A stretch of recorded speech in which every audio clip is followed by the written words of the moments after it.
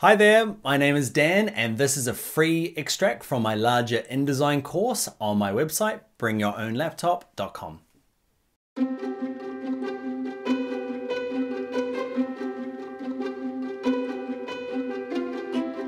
Hi there, in this video we're going to look at grouping this thing together and rotating it and adding some text and making a perfect circle and all sorts of fun stuff.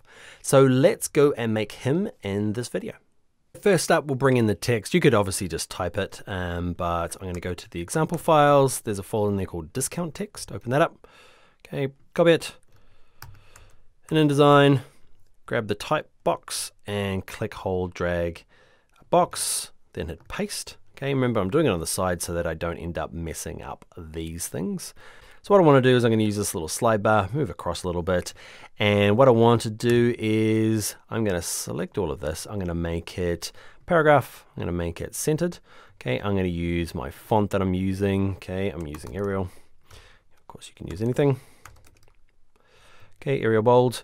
And what size is it going to be? Well, I have to double check. I've gone for 10 point at the moment. Black arrow.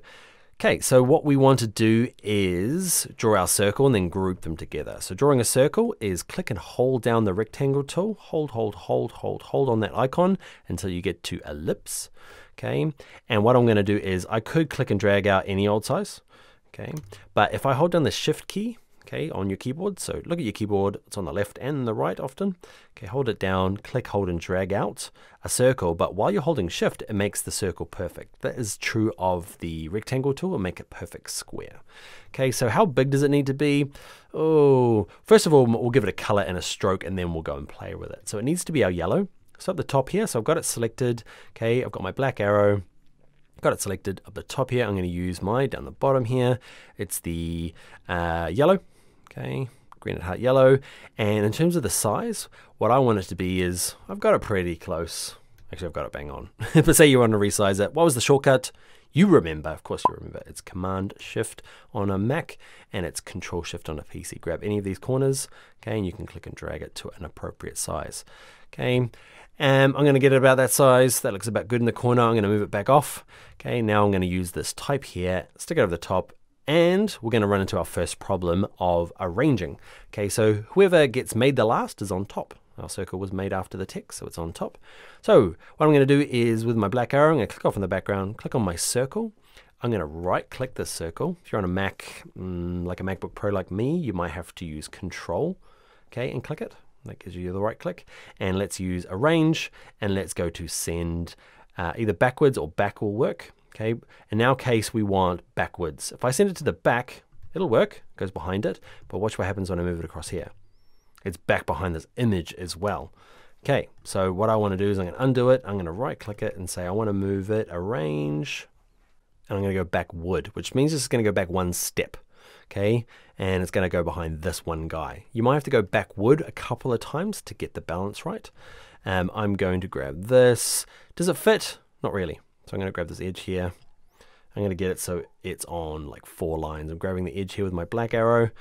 And does that fit? Kind of. Now, when you are moving things around, it can be a little hard because it tries to want to snap. Okay, I've got my keys on my keyboard, just the arrow keys, you know, the cursor keys. I'm going to just tappity tap until I get it right. Okay, and I'm going to drag this up.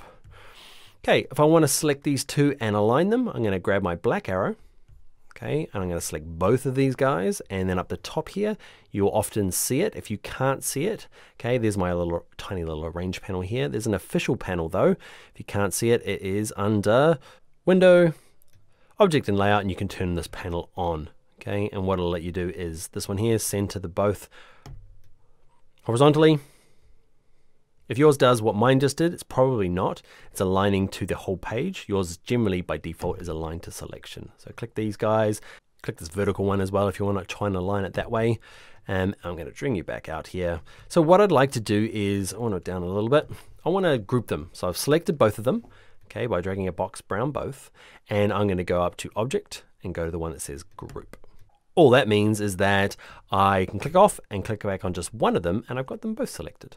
I can select it and go to object and ungroup it as well if I need them apart. Okay, and what I want to do is rotate it. Remember, remember from an earlier video, I want you to grab your black arrow and just outside, not here, just a bit further out, we can rotate. Okay, click, hold and drag, and I'm gonna move it down here somewhere. That's probably a bit too hard to rotation. I'm looking for the cool lean thing like it's a sticker that got stuck on afterwards, but clearly it's not.